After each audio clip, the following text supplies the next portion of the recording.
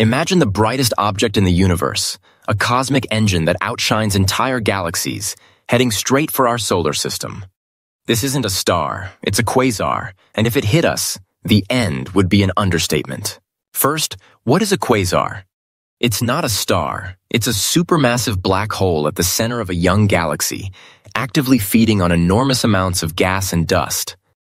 As this material spirals into the black hole, it heats up to trillions of degrees, unleashing a torrent of energy and radiation so powerful it can be seen from across the universe. So what would actually happen? The moment the quasar's jet, a colossal beam of particles and radiation traveling at near the speed of light, entered our solar system, it would be over.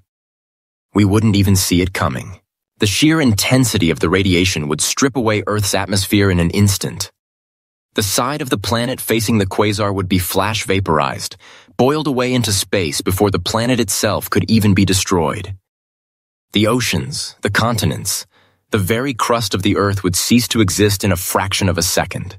The planets, the asteroids, everything in our solar system would be sandblasted into elementary particles.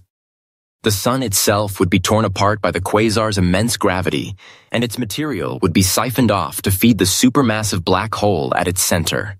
This isn't a slow motion disaster. It's an instantaneous system-wide deletion. The good news?